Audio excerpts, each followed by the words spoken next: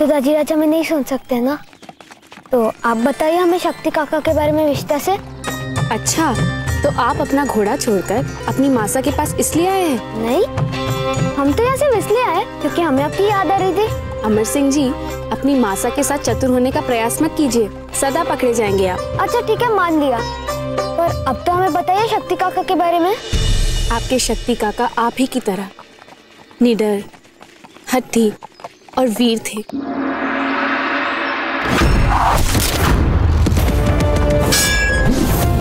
वे और आपके दाजीराज साथ में ही पढ़ते थे, साथ में ही खेलते थे और अपना शस्त्राभ्यास भी साथ ही में करते थे। आपके दाजीराज और शक्ति काका के मूल्य भी एक ही थे, परंतु उनके मार्ग भिन्न भिन्न थे। आपके शक्ति काका इतने आवेगशील थे कि उनके लिए जो गलत था बस वो गलत ही था। तुम्हारा साहस कैसे हो गया? हमारे सामने हमारे दाजीराज के लिए ऐसे अपमानजनक ढंग से बोलने का। यदि शक्ति काका इतने अच्छे थे तो बड़े दाजीराज ने उन्हें महल से क्यों निकाला? क्योंकि आपके बड़े दाजीराज को लगा कि वे गलत थे। और आपके शक्ति काका इतने स्वाभिमानी थे कि उन्होंने एक बार भी प्रयास नहीं किया उनसे ये कहने के लिए कि वे गलत नहीं थे। यदि शक्ति काका दाजीराज के साथ होते दाजीराज का बल दुगना हो जाता है ना? यदि आपके शक्ति काका आपके दाजीराज के साथ होते तो वे दोनों आकाश से धरती पर चाँद तारे भी ले आ सकते थे। जाइए।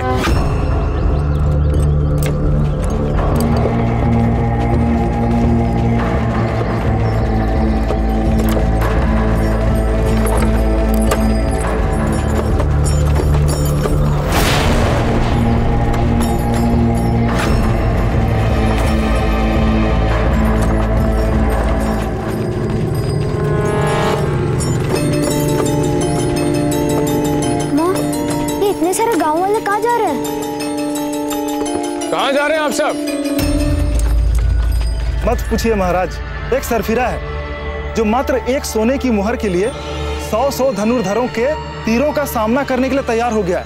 और वो भी आँखों में पट्टी बांधकर। हम तो उन्हें ही देखने जा रहे हैं।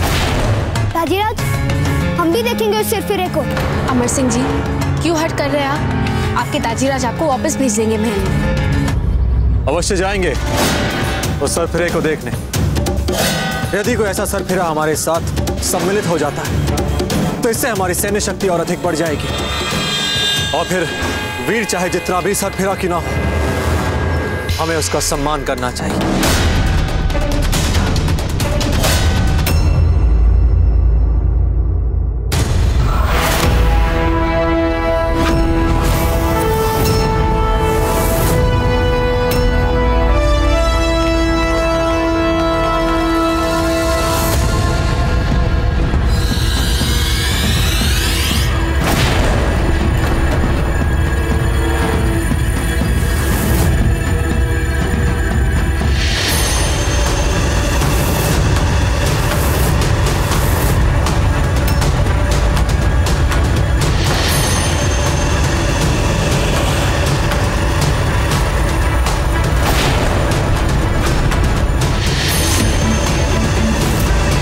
वाह भाई बात तो है इस वीर में। अरे बात कैसे नहीं है? कोई दे सकता है ऐसी असंभव चुनौती?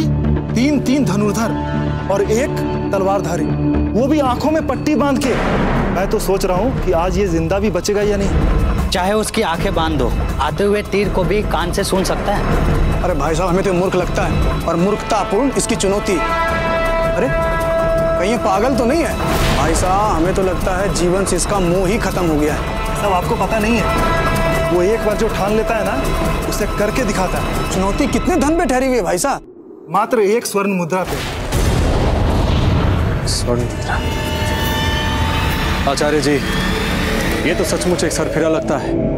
मात्र एक स्वर्ण मुद्रा के लिए अपने प्राणों को संकट में डाला है। धन की क्या बात है? बात तो यहाँ अपने कौशल दिखाने की।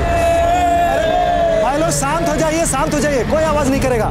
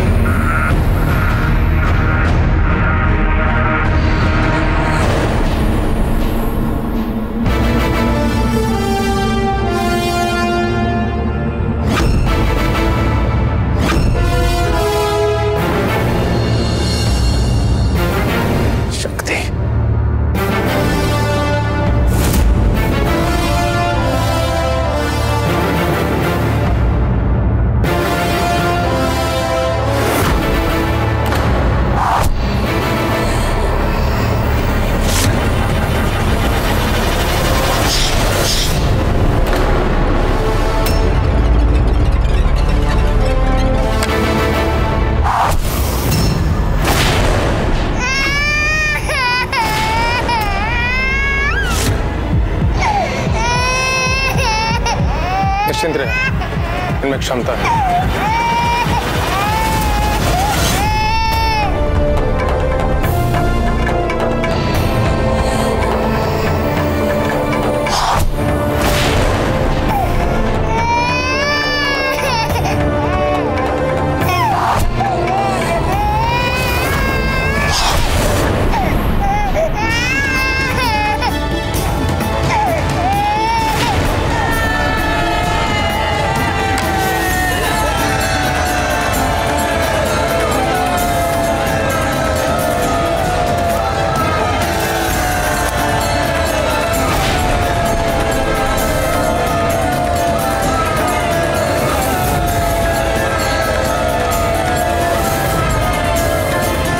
ये अवश्य ही शक्ति सिंह है।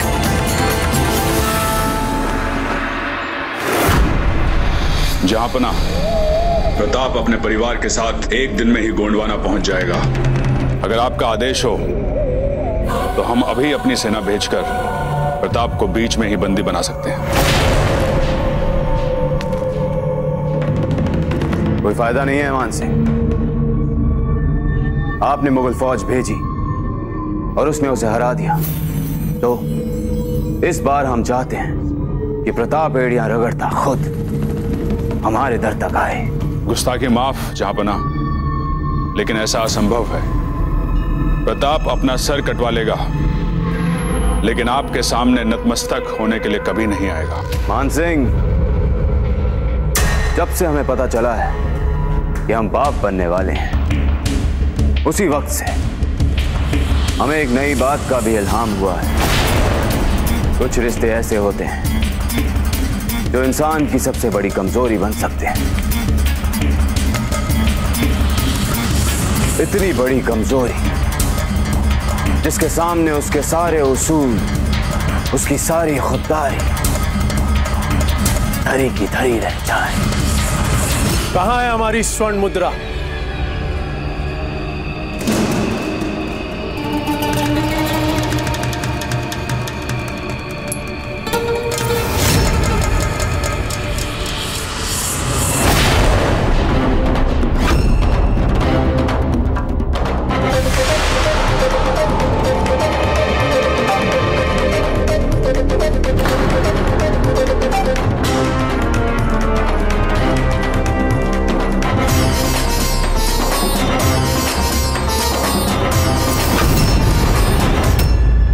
कौन हो तुम? हम वो राजपूत हैं जिसे यह नहीं लगता कि इस स्वर्ण मुद्रा को पाने योग्य। आपने कोई कौशल दिखाया? तुम्हारा इतना दुस्साहस हमने इन सब लोगों के सामने प्रण लिया था और इन सब लोगों के सामने हमने उसे पूरा किया।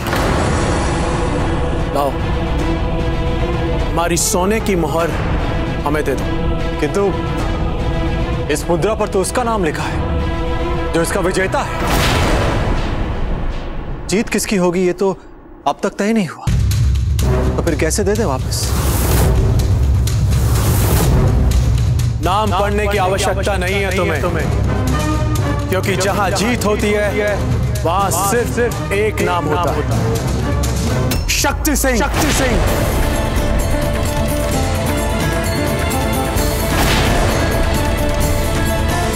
हम जानते थे। कि आप और कोई नहीं बल्कि हमारे भाई शक्ति ही हो सकते हैं। अच्छा जी ये तो मैं शक्ति का है ना?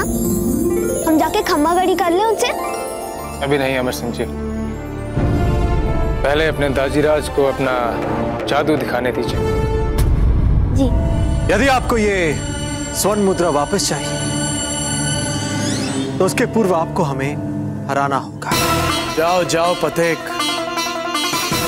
इस तरह कारण किसी को पराजय का मुख दिखाना अच्छा नहीं लगता हमें। और कोई भी हमारे सामने युद्ध जीत कर निकल जाए हमें अच्छा नहीं लगता लगता है हारे बिना मानोगे मानोगे नहीं। तो बोलो किस हथियार से लड़ना चाहोगे हमसे? हम तो केवल तुमसे प्रतिस्पर्धा चाहते हैं। युद्ध नहीं क्योंकि प्रतिस्पर्धा मित्रों और अपनों के बीच होती है। किंतु युद्ध युद्ध तो शत्रुओं के बीच होती है। और मित्रों के लिए हथियार की क्या आवश्यकता? हमारे हाथ ही पर्याप्त है। मित्र बोलकर यह मत समझ लेना कि हम तुम पर वार नहीं करेंगे।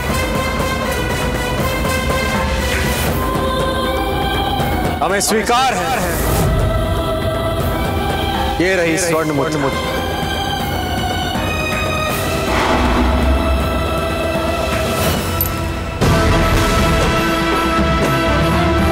ये प्रतिस्पर्धा जीतेगा।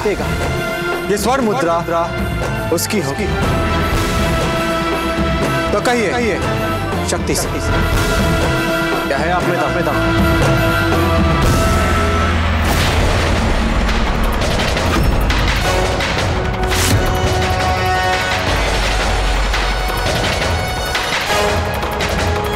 अब तुम इन्हीं वस्त्र में लड़ोगे क्या? प्रताप के घर वालों को गिरफ़्तार कर लो। उसकी बीवी, उसका बेटा। फिर देखना उनकी खातिर, कैसे रेंगता हुआ आता है हमारे पास। देख लेना, गिड़गिड़ाता हुआ भीख मांगेगा अपने बीवी बच्चों की जान उसके जाति रिश्ते सबसे बड़ी ताकत है ना उसकी। देख लेना, उन्हीं रिश्तों को उसकी सबसे बड़ी कमज़ोरी बना देंगे हम।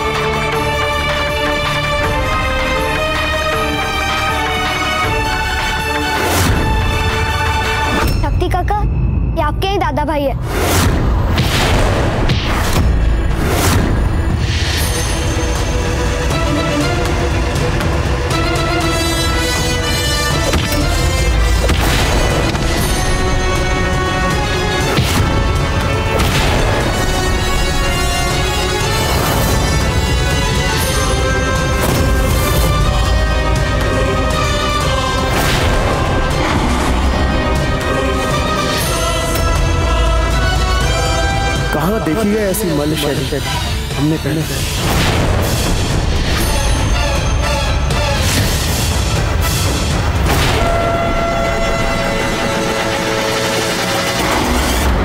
दादा भाई प्रताप।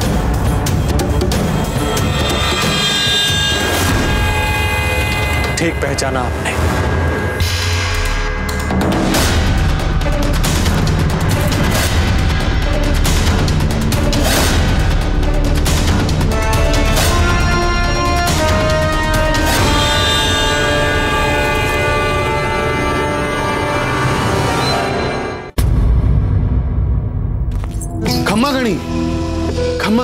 घड़ी ऐसा लगता है मानो साक्षात किसी देवी के दर्शन हो गए हो। आप दिन भर कुंवर प्रताप के सुमंगल के लिए पूजा पाठ करती हैं। सर्वथा उचित। हर समय कितनी समस्याओं से घिरे रहते हैं कुंवर प्रताप। पूजा तो हम अपने मन की शांति के लिए करते हैं। और रही बात कुंवर प्रताप की समस्याओं की तो उनके अपने लोग, यदि अपने लक्षण सुधार लें तो समस्याएँ अपने आप समाप्त हो जाएँगी। हमारे हाथ तो कुंवर प्रताप को सदा आशीर्वाद देने के लिए उठते हैं रानी साहब। कभी आशीर्वाद देने के लिए तो कभी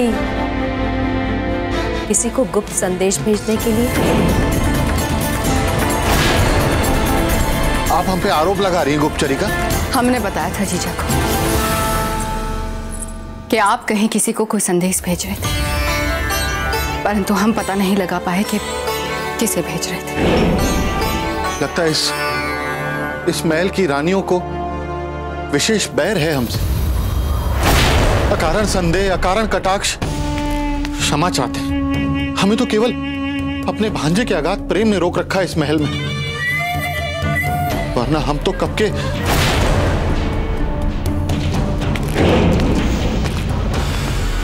अब तो देख लिया ना आपने, जीजा। कि हम अपने परिवार वालों के साथ भी उलझने में हिचकिचाते नहीं। फिर भी आप हम पे संदेह करती हैं। यदि आप एक पग और उठा लेती कहाँ भेज रहे हैं आपके भाई वो संदेश तो आपको भी समझ में आ ही जाता ना कि हमारा संदेह सही है या आधारहीन। किंतु वो आपने किया नहीं और वो आप कभी करेंगे नहीं।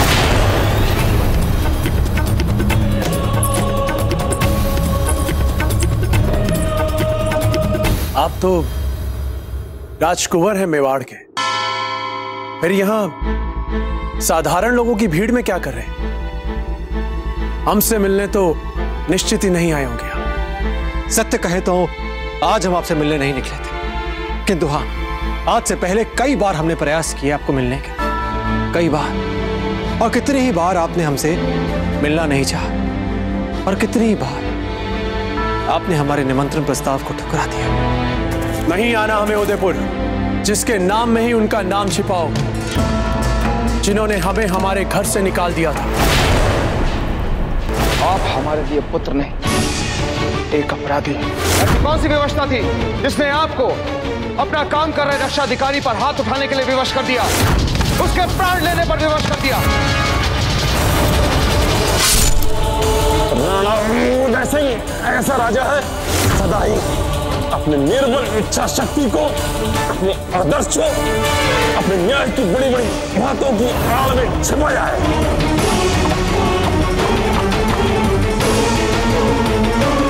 भाई शक्ति ताजीराज का स्वास्थ्य बहुत रुग्ण है और कई उपचार के उपरांत भी नहीं हो पा रहा है समुचित स्वास्थ्य लाभ। जी यदि आप उन्हें कह सकें तो कह दीजिए। उनके स्वास्थ्य लाभ के लिए हमारी भी शुभकामनाएँ। शक्ति काका। अब स्वयं ये बात बड़े राजा से कहेंगे तो उन्हें कितना अच्छा लगेगा। ये आपके भतीजे हैं अमर सिंह। अमर सिंह?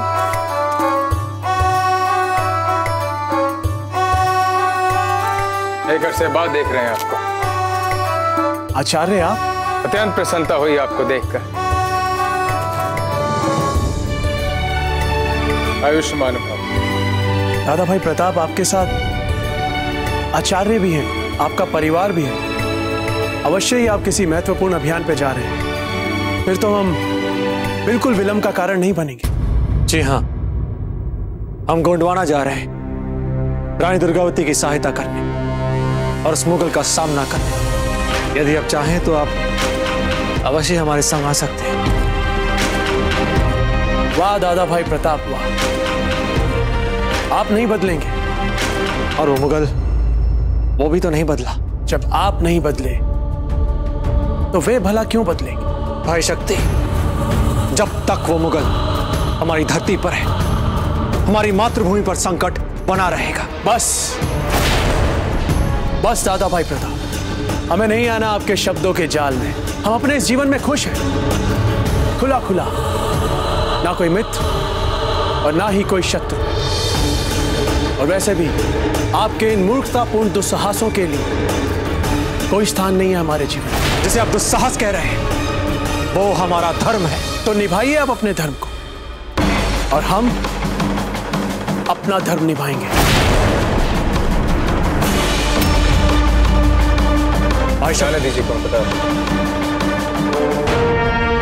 हमारे विचार से हमें अपने अभियान के लिए प्रस्थान करना चाहिए। विलंब हो रहा है। ठीक है। आपका शुभ मंगल। हो यही कामना करते हैं। और आपका भी ऐसा ही। और हाँ हमारे भतीजे का ध्यान रखिए।